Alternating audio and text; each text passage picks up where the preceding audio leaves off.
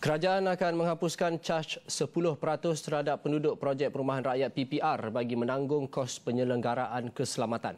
Menteri Kesejahteraan Bandar, Perumahan dan Kerajaan Tempatan Datuk Abdul Rahman Dahlan berkata ia membabitkan isu kerosakan lift dan pendawaian elektrik. Katanya inisiatif itu selari dengan hasrat Perdana Menteri Datuk Seri Najib Tun Razak yang ingin nasib penduduk rumah kos rendah diberi keutamaan perkara-perkara pembaikan yang melibatkan keselamatan. Contohnya lift.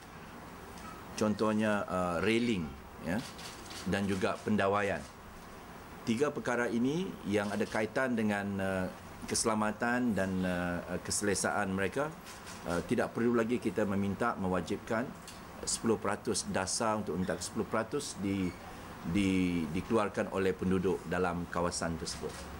Uh, kita akan biayai 100%. Abdul Rahman ditemui selepas lawatan kerja di projek perumahan rakyat PPR Wangsa Sari. Katanya, dasar yang menetapkan penduduk terpaksa menanggung 10% kos keselamatan sudah tidak relevan kerana ia membebankan. Sebelum ini, Najib mengumumkan penubuhan Perbadanan Pengurusan Perumahan Awam Negara 3 PAN bagi menjalankan kerja penyelenggaraan semua projek PPR. Tegas Najib, Penubuhan perbadanan itu bagi menggantikan tugas yang sebelum ini dikendalikan oleh pihak berkuasa tempatan PBT.